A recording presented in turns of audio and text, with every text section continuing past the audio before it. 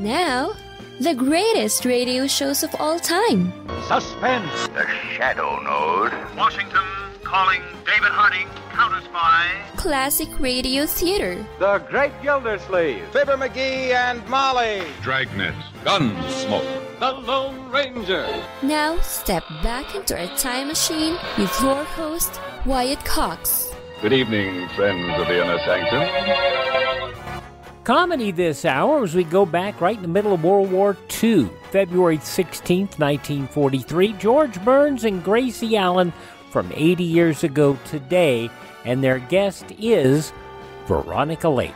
We thank you for tuning in on this uh, sure happy it's Thursday. This is the 16th day of February. Uh, this is the 47th day of the year, 318 days remaining till we get to 2024. Studebaker Brothers Wagon Company, established on this date in 1852, it was the precursor of the auto manufacturer. National Deaf Mute College, established in Washington, D.C. on this date in 1857, honor uh, becoming the first school for the advanced education of the deaf.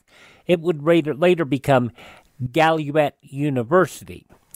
In New York City, the Jolly Corks organization renamed itself on this date in 1868 to the Benevolent Protective Order of the Elks.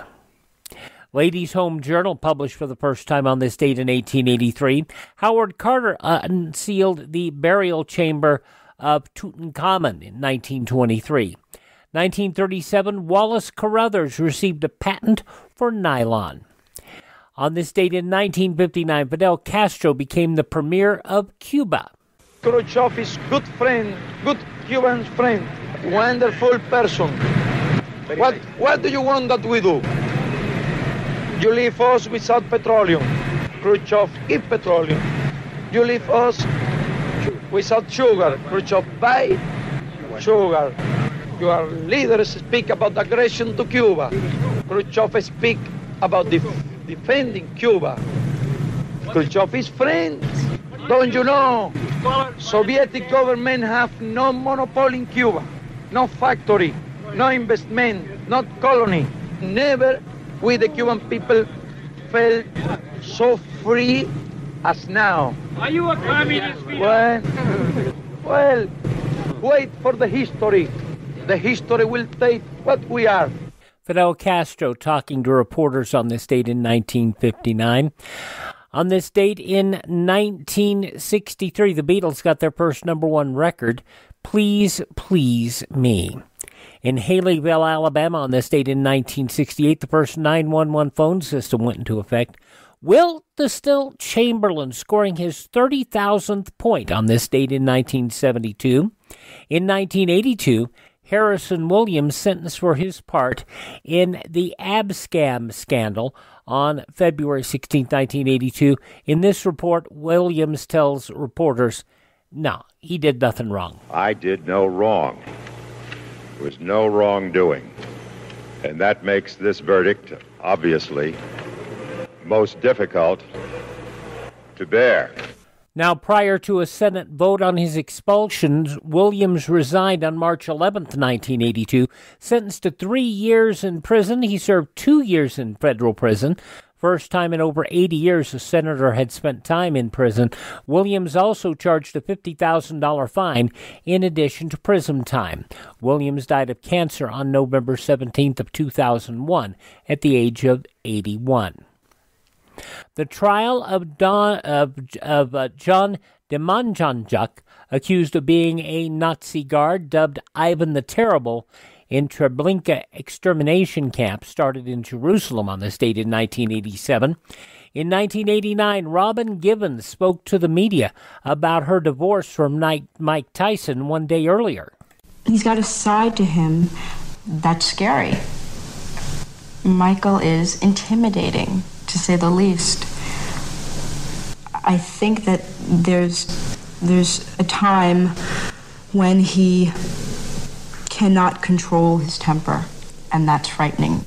Now, while newspapers reported Givens received a divorce settlement of over $10 million from her marriage to Tyson, she denied the report. telling Essence magazine writer Patrick Henry Bass, I didn't receive one dime. U.S. and U.K. warplanes bombed the suburbs of Baghdad on this date in 1991, injuring at least 11 civilians, killing three others in the Gulf War. And in 2005, the National Hockey League canceled the entire 2004 2005 regular season and playoffs, becoming the first major sports league in North America to do so over a labor dispute. Because the solution has not yet been attained, it is no longer practical to conduct even an abbreviated season.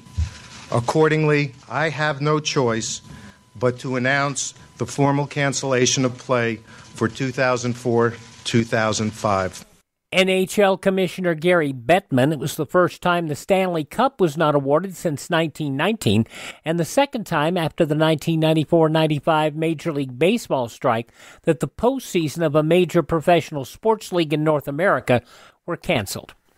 2006, the last Mobile Army Surgical Hospital, MASH, decommissioned by the U.S. Army. 2012, a federal judge in Detroit ordered life in prison for Omar Farouk Amanullah, a Nigerian man who tried to blow up a packed Northwest jetliner with a bomb concealed in his underwear. Passing away on this date in history, the man who played Colonel Henry Blake in the 1970s film version of MASH, Roger Bowen. Uh, also, pro wrestler Johnny Grunge of Public Enemy, and Lesley Gore. And, you know, she said her part was her party. She could cry if she wanted to. Uh, born on this date in history, Edgar Bergen. Also, actor Hugh Beaumont, the dad in Leave It to Beaver.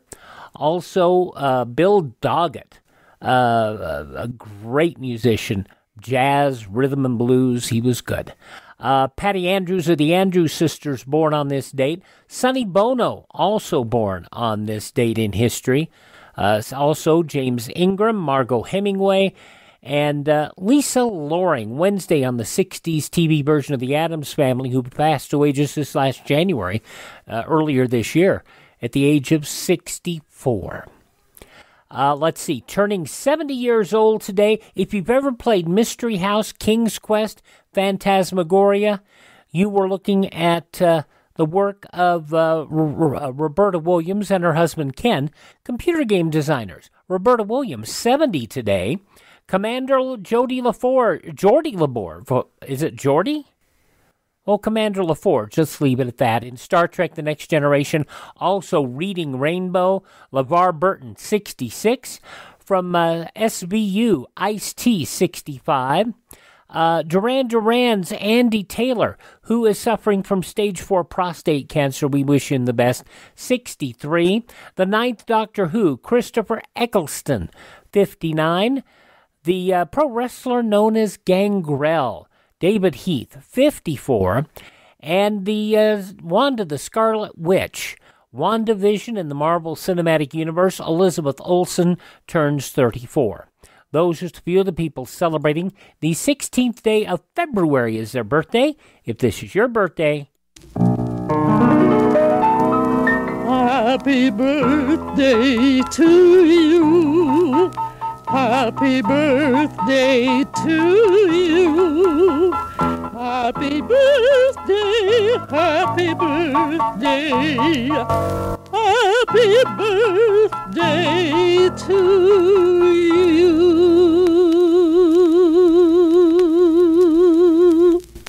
Tangy you, Mrs. Miller. From 80 years ago today, February 16th, 1943, George Burns and Gracie Allen and, and, and Veronica Lake.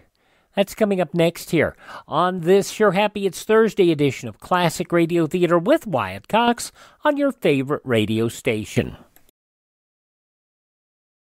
Born Constance Ockelman in 1922, the screen career of Veronica Lake can only be described as a streaming, soaring skyrocket that came crashing down to earth.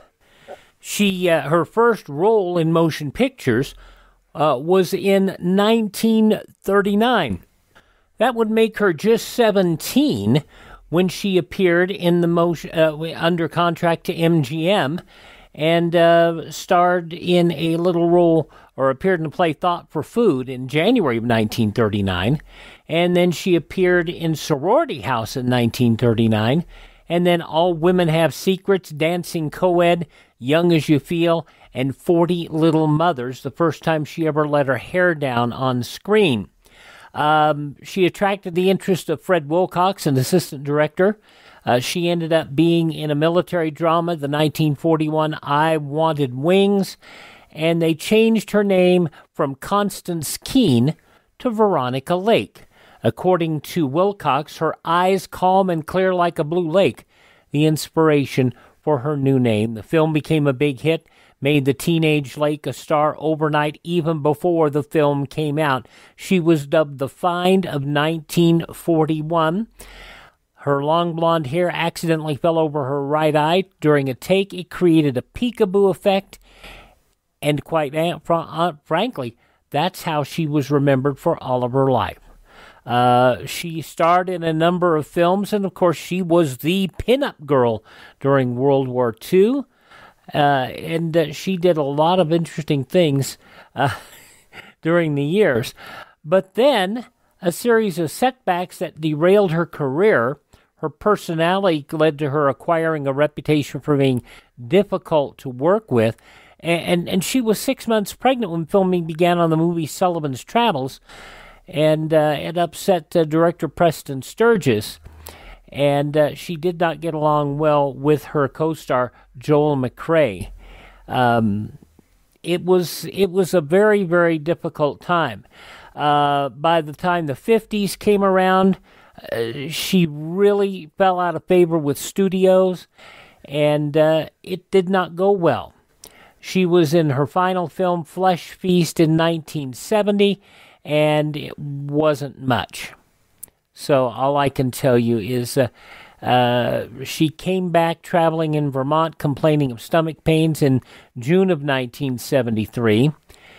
Checked into University of Vermont Medical Center, cirrhosis of the liver, and acute hepatitis, acute kidney injury. She died July 17, 1973. She was just 50 years of age. Veronica Lake, the uh, story of her life, summaried, and uh, here we have an episode of George Burns and Gracie Allen. February 16th, 1943, 80 years ago today, with guest star Veronica Lake. Well, hello. Come right in. Oh, George, we've got company.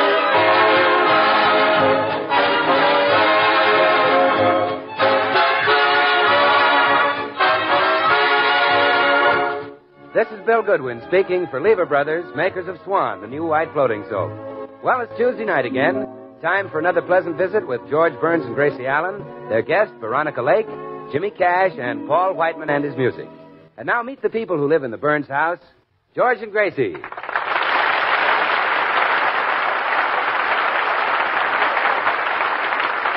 Uh, what are you doing, sweetheart?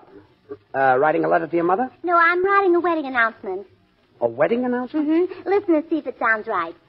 Mr. and Mrs. Samuel J. Sagwell take pleasure in announcing the forthcoming marriage of their daughter Tootsie to Mr. William Goodwin. The ceremony will minute. be held. Wait a minute. Bill Goodwin is going to marry Tootsie Sagwell? That's right. I don't believe it. But it's true, George. Of course, it's a secret. Very few people know about it yet. Not even Bill. I thought so. What horrible thing are you cooking up for that poor guy? Is it so horrible to marry a girl who looks exactly like Veronica Lake? Gracie, Tootsie has a face like a New England boiled dinner. She doesn't look like Veronica Lake. But she will, dear. Professor Robinson will fix that. Who? Professor Hubble Robinson. Hubble Robinson? Yes. The beauty expert. Hmm. He sells a beauty kit guaranteed to make people look like their favorite movie stars. Oh, for Pete's sake. So, Tootsie decided on Veronica Lake, and we're going to get started today. How long do you expect it will take? Oh, just a couple of hours. Veronica's a very small girl, you know. Gracie, you're wasting your time. This Professor Robinson must be a quack. He's nothing of the sort, George. Uh, Mr. Carroll Nye of Burbank wanted to be like Clark Gable, and after the professor's treatment, he not only looked like Gable, but he had gorgeous legs. He had gorgeous legs? Yes, you see, his handwriting was hard to read, so whether he wanted Gable or Grable. So, So he gave them them- both. yes. I see what you mean. That's really an amazing professor. Yes, and then another customer got to look so much like Gene Autry that his wife left him. Horses kept following him home. Gracie, Bill Goodwin will never marry Tootsie oh, Sagwell. I'll answer it, dear, and maybe Tootsie. Oh, hello, Mr. Postman. Good morning, Mrs. Burns. How are you this lovely, lovely morning? Oh, I'm and you're looking well, too. Yes, this is the kind of weather that brings the roses to my cheeks. You know, I envy you, Mr. Postman. You're always so healthy. I take no credit, Mrs. Burns. If other people used my system, they could be as hale and hearty as I am. What is your system? Deep breathing. As I walk along, I inhale like this. And then I exhale like this. How wonderful. Well, what mail did you bring me today? A package, Mrs. Burns. Here you are. Oh, it's just what I've been waiting for. Tootsie's beauty kit from the professor. Thanks, and goodbye, Mr. Postman. Goodbye, Mrs. Burns. Remember, keep smiling.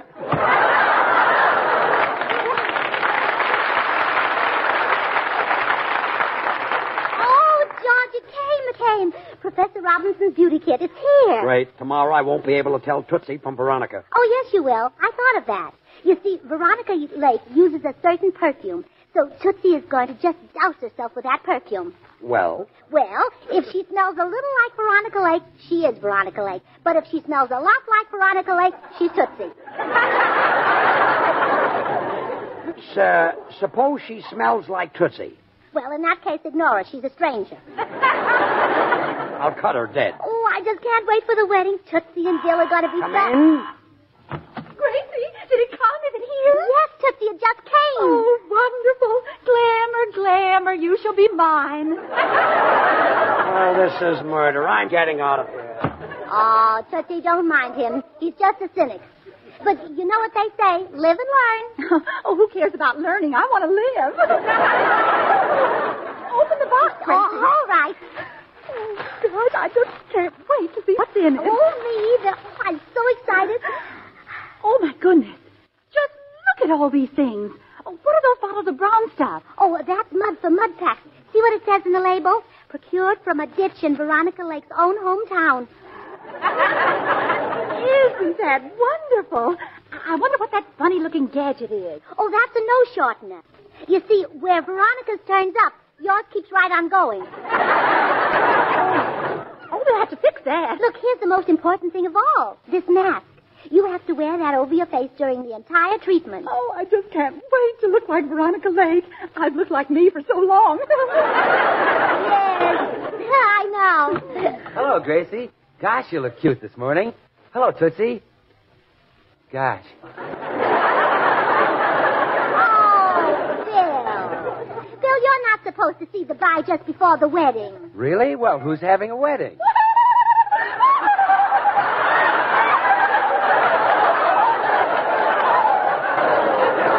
Gracie. Gracie, is Tootsie finally getting herself a man? Yes. Who is the poor sap? you.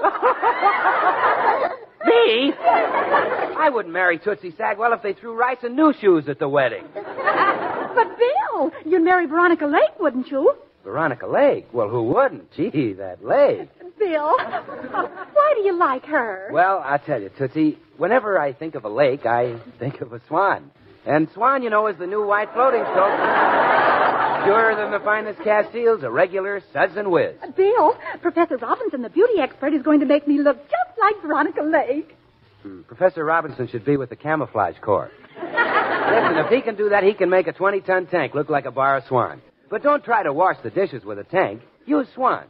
Swan is great for washing the dishes because it suds faster than other white floating soaps.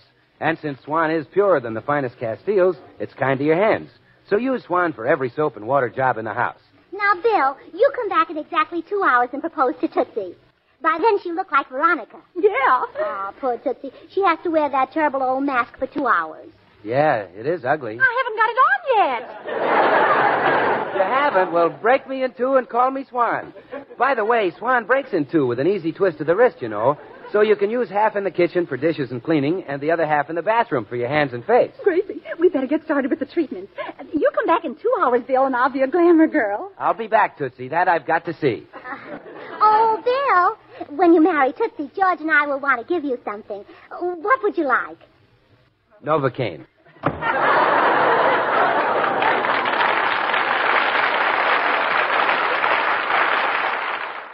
February 16th, 1943, George Burns and Gracie Allen here on Classic Radio Theater with Wyatt Cox. The news from 80 years ago today comes up next.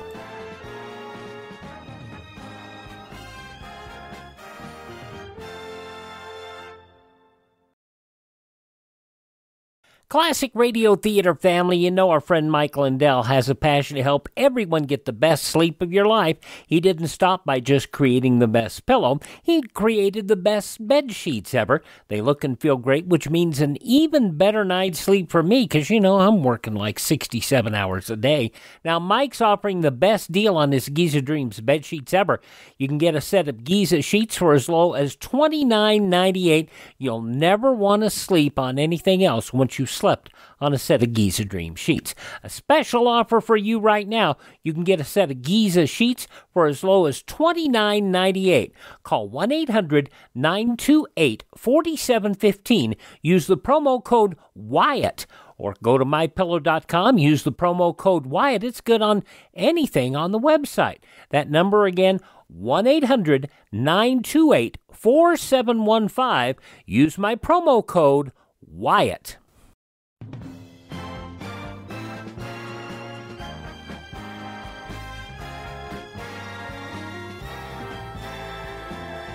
Thanks for spending part of your Thursday with us here on Classic Radio Theater with Wyatt Cox. We're listening to an episode of George Burns and Gracie Allen as it was originally broadcast on Tuesday, February 16th, 1943, 9 p.m.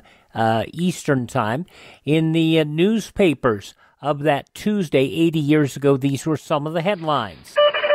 In headlines from the war, Germans advanced 20 miles on southern Tunisia front to end, uh, endanger American position at Gafsa. Inexperienced American troops suffer at enemy hands. The fall of Kharkov is imminent as Nazis admit defenses before the city are cut open. 725,000 Nazi troops believed entrapped in Rostov area. Germany and Italy's cities burned and bled following British U.S. aerial attacks on Cologne, Milan, Spezia, and Dunkirk. Enemy bombers are crossing the southeastern coast of England. Heavy weekend air activity in both South and North Pacific, resulting in a loss of eight U.S. planes, 15 Japanese planes, and damaging uh, one of Japanese cargo ships. Shortland Island believed under development as a new enemy base.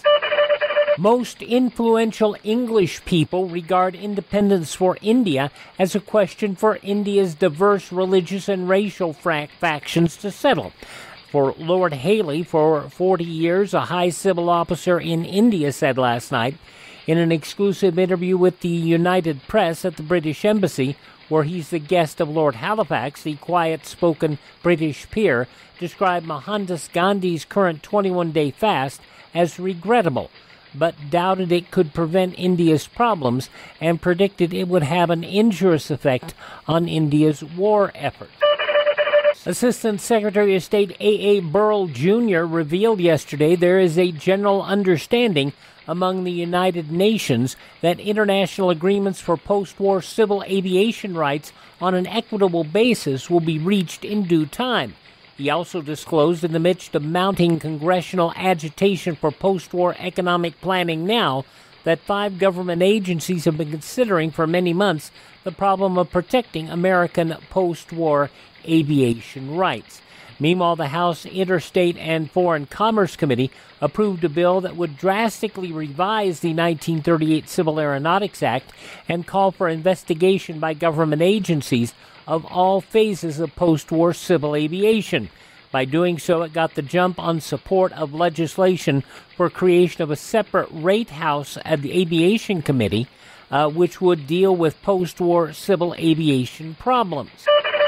Chairman Walter F. George, the Democrat of Georgia of the Senate Finance Committee, predicted last night any change over to pay as you go income tax collection will undoubtedly be followed by still higher taxes. Participating in a radio broadcast on the Columbia Network, with Secretary of the Treasury Henry Morgenthau Jr. and Chairman Robert L. Doughton, uh, Democrat of North Carolina, of the Tax Making House Ways and Means Committee. He joined them in stressing the need for filing 1942 tax returns and making an initial quarterly payment, regardless of congressional action on a current collection plan. Extension of Social Security benefits to members of the armed forces will be proposed by the Social Security Board in its annual report to Congress that, according to well informed sources, some board members believe inclusion of the nation's fighting men and women might obviate the need for future legislation extending special benefits to veterans, benefits that were found necessary following World War I when the first Soldiers Bonus Bill was enacted. Those some of the day's top news stories as reported in the newspapers of Tuesday, February 16, 1943 on your radio, George Burns and Gracie Allen, which continues now on Classic Radio Theater with Wyatt Cox. Well, come on, Tootsie, lie down on the table. All right, Gracie. I think I'll start off with the mud pack. Now, hold still. Oh, isn't it wonderful? You'll have Veronica Lake's face in no time. I know, and I'll have her ears even sooner than what mine went. Say, I have a wonderful idea, Tootsie. I'll call Veronica and tell her to come right over. What for? Well, so we can tell how we're doing. I'll stand you both side by side, and if I can tell you apart, you're not done yet. That's a marvelous idea, Gracie. But do you know her? Oh, sure. I see her at the market all the time. We don't get our meat from the same butcher. oh, just think. Veronica Lake and I are going to be twins. Crazy. how about you and Hedy Lamarr looking alike? Oh, well, I don't think Hedy Lamarr would want to go through all this fuss just to look like me. well, Come on, Gracie, put on some more stuff. All right, Tootsie. Here's mud in your eye.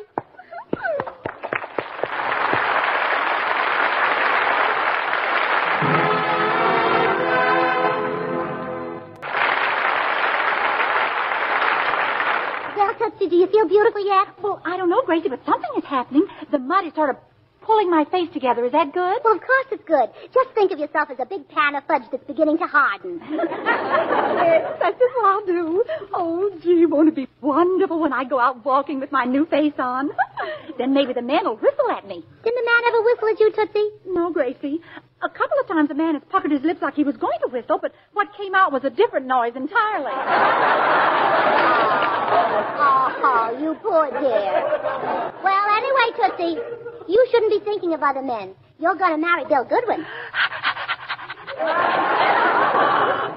oh, that must be Veronica. You just lie there, Tootsie, and, and keep that mask on your face. Hello, Gracie. Oh, come on in, Veronica.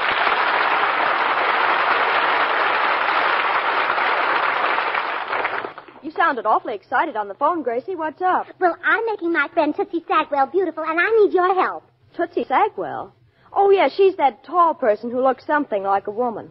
Yes, yes, yeah, that's Tootsie. She's taking Professor Robinson's beauty treatment that's guaranteed to make her look exactly like a movie star in two hours. Any particular movie star? Yes, you. Good heavens. Yeah, and that's, that's why I need your help. I want you to stand beside Tootsie so we can see if there are any places where a little side Sagwell still shows through the lake. Come on, Veronica, she's in here. Wait, before we go in, I'd better tie a string around my finger. What for? I don't want to get mixed up and forget which one is me. Oh, well, don't bother. I'll try to remember. Come on. Tootsie, this is Veronica Lake. Oh, Miss Lake, I, I hope you don't mind that I picked you for a model. I'm very flattered, Tootsie. You know, Veronica, I've, I've always wanted to swap beauty secrets with you. Well, let's not swap. I'll just tell you what I know. oh, good. Oh, dear, if, if Bill doesn't marry me this time, I'll just give up. You're counting on this experiment to get a husband? Yes, I've tried everything else. Well, she certainly has. Remember when they took away your permit to carry a gun, Tootsie? yes, the old meanies. Oh, I failed so many times, Veronica. You know, they say that the bridesmaid who catches the bride's bouquet will be the next to get married. But it never worked for me. What a shame. I've been a bridesmaid 20 times. Every time I jump way up in the air and catch the bouquet, and it's gotten me nothing. Oh, well, I wouldn't say that, Tootsie. It, it got you an offer to play second base for the Washington Senators. I almost wish I'd taken it. Oh, Gracie, where are you, dear? Oh, George is home. Uh, Veronica, you stay here with Tootsie. I'll be right back. Hello. Oh, George, you're just in time. In a few minutes, we're going to unveil Tootsie. Gracie, this idea is ridiculous. If people get to look like movie stars, don't you think a lot more would be doing it? Don't you think I'd like to look like Charles Boyer? Well, certainly. Well, you don't have to be so definite about it. But, George, if you want to look like him, you can. Professor Robinson has Charles Boyer's face marked down to twenty-seven fifty this month. It's a special. Only twenty-seven fifty. yeah, of course, that's not including the eyes. Oh, oh, no eyes. No, those big soulful Boyer eyes are extra. How much does he get for those? Well, how many would you want? One or two? Well, I'm no piker. Make it two. Ah, make it three. When I go, I go. George Burns, I don't like your attitude. You'll be sorry you acted like this when I walk out of that with a new Tootsie Sagwell. You just stay here. I'll be right back. Gracie, I can tell by the look on your face that George doesn't believe in Professor Robinson. Oh, no, he doesn't. Oh, I get so mad at him sometimes. Honestly, he wasn't my husband, I divorced him. Gracie, is it almost time to take the next? How does your face feel? Does it feel like Veronica Lake's face? Well, I don't know how Veronica Lake's face feels. Oh, uh, how does it feel, Veronica? Oh, I don't know. I've had it so long it almost seems like part of me. Oh. Tootsie, it's two o'clock. Time to take the mask off. Oh, hurry. Oh, hold still. There. Well, how do I look? Oh, dear. I shouldn't have used that witch hazel. Why not? Mm, I'm afraid the bottle had too much witch and not enough hazel. Oh, dear. Bill Goodwin will be here in ten minutes. He'll never propose to me now. Oh, don't feel that way, Tootsie. Men don't pose to women because they're beautiful. No. I'll bet lots of men have proposed to you. Well, yes, but only because I'm a good cook. I can't even cook. well, wait. Wait. I've got an idea. Veronica, you've got to help us. You've got to pretend that you're Tootsie Sagwell. Me? Yes. After she's worn the mask a little longer, Tootsie will look like you anyway. So you just pretend you're Tootsie long enough for Bill Goodwin to propose to you. Yes, Veronica. Just accept him and I'll take it from there. But this is the craziest thing I've ever heard oh, of. Please, Veronica, do it for me. Well, all right. Oh, thanks. And what a chance this is to teach my husband a lesson. Now, when I call you, come out as Tootsie. All right, Gracie. Um, well, George, we took the mask off Tootsie. You did, huh? Yeah. Now I want you to see her. Oh, Tootsie! Miss Gracie, did you call me? Uh, yes, I did, Tootsie. Look anything like Veronica Lake. February 16th, 1943, George Burns, Gracie Allen on Classic Radio Theater with Wyatt Cox. We'll close out this week of Classic Radio Theater with an episode of The Halls of Ivy starring Ronald and Benita Colman, a story of prejudice in the mid 20th century. Dr. Hall uses the opportunity of an address in the Ivy Chapel to speak of tolerance and brotherhood after a Chinese student leaves Ivy because of prejudice. The program from 73 years ago, February 17, 1950, on Fridays, Classic Radio Theater with Wyatt Cox. Now, the conclusion of George and Gracie, George Burns, Gracie Allen, 80 years ago, February 16, 1943. All right, all right. I knew it was Veronica Lake all the time, and so will Bill Goodwin. Look, he'll he'll he'll never believe she's Tootsie. He will too. Veronica's a very fine actress. All you have to do, Veronica, is imagine you are Tootsie Sagwell. I don't believe I have quite that much imagination. Oh, you can do it. Just get that look of hers in your eye. You mean that come hither look? Well, it's really stronger than that. It's more of a come hither, stay hither, and don't go thither look. I see. I'd better know how she acts with men, too, so I can give a good performance. How does she react when a man asks her for a date? Well, let me see now. I have to go back to 1929 for that. oh, the year of the crash. Well, men were desperate in those days. Yeah. Well, as I remember it, when this man asked Tootsie for a date, she was surprised for a moment. But she regained, regained her poise quickly and yelled, wow, and broke two of his ribs. Gracie, do you mind if I'm a little more ladylike? I'll just stick two fingers in my mouth and whistle. Yes, give it that bass a touch. Here's Bill now. Well, here I go. You promise I can leave the minute he proposes to me, Gracie. Oh, absolutely. Oh, don't worry. You'll be able to leave right away. The biggest dope in America would know that you are Veronica Lake and not Tootsie Sagwell. He will not. Come in. Hi, Gracie. Hi, George. Uh, Bill, look. Why, why, Tootsie. Oh, no. Tootsie, I can't believe it. You're gorgeous. You're beautiful. I couldn't tell you from Veronica Lake in a thousand years. Really, Bill? Oh, really? Tootsie, when you asked me for a kiss last week, did I say no? I ought to have my head examined. Come here, babe. Hey, now wait a minute. And here's one for the week before. And the week before that. And remember the day you chased me six blocks? Well, I'm standing still now. And remember the time. Bill, Bill, Bill.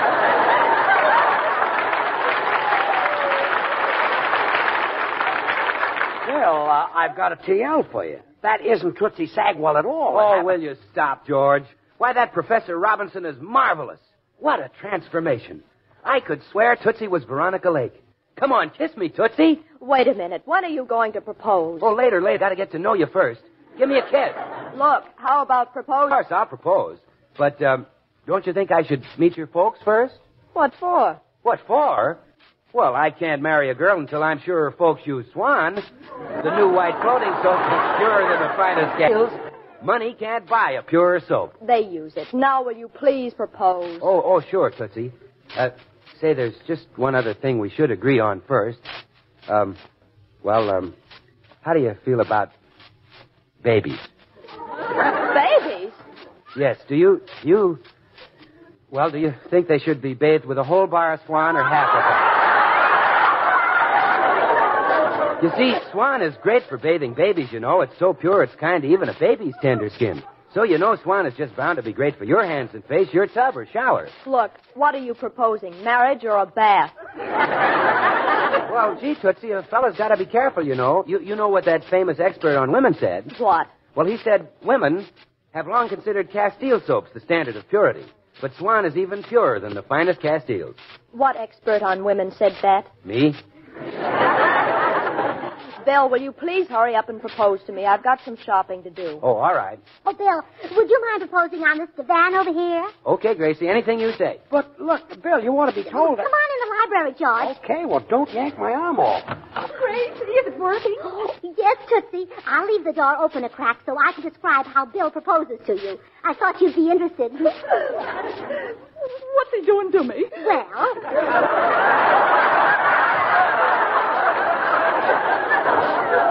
you're, you're both you're both on the divan, and Bill is moving closer to you, closer and closer.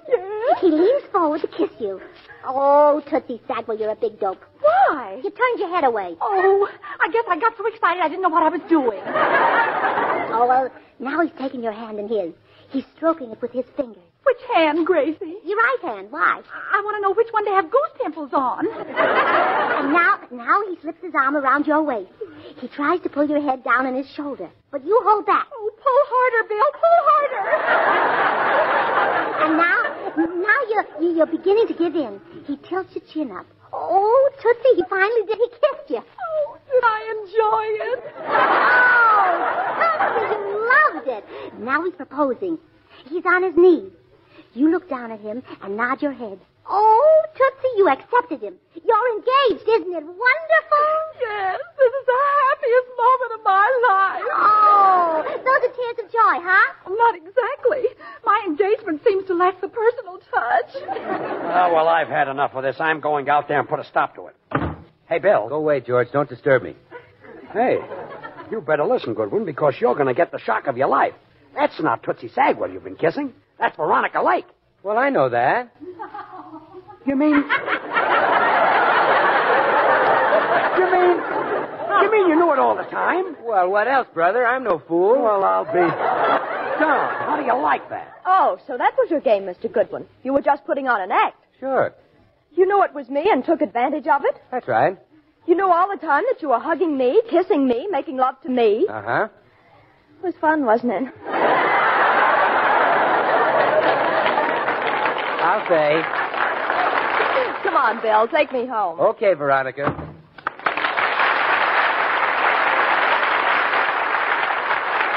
Well, so help me, that's the last time I'll ever stick my neck Oh, out. wait, wait. George, stop them. Oh, you're too late. They're gone. Oh, well, that's the man for you. He just got engaged to Tootsie Sagwell and he's already running around with another woman. Now, look, Gracie. Oh, men are all alike. They're all deep. You just can't trust one of them. George Burns, I'm going home to my mother. Me? What did I have to do?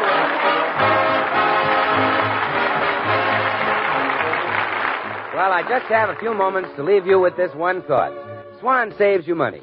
Use it for every soap and water job in the house. In the kitchen, for dishes and cleaning, Swan does the work of easily wasted package soaps. So you save there. And in the bathroom, for your hands and face, you save again. Because Swan gives you more soap per penny than any of the leading toilet soaps tested. And gives you a soap purer than the finest Castiles. So use Swan and really save. Oh, we're a little late, folks. Good night.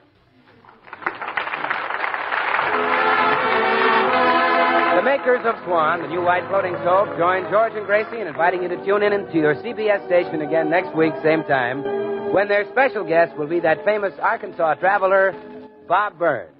Remember, George Burns and Gracie Allen, CBS next Tuesday night. And don't forget to listen to Swan's other show, Tommy Riggs and Betty Lou, over another network next Friday night. And now till next week, this is Bill Goodwin saying, Well, I, Swan, how about you? Good night. Veronica Lake is now appearing in Paramount's all-star production, Star Spangled Rhythm. This is the Columbia Broadcasting System. From February 16th, 1943, George Burns and Gracie Allen on Classic Radio Theater with Wyatt Cox. Thank you so much for listening. Appreciate you so much. And uh, thank this station, support their advertisers. It's their kindness and courtesy that allows us to be here. Our webpage, classicradio.stream. Stream our shows on demand. Learn about building a classic radio collection of your own. You can contact me there, find our social media links.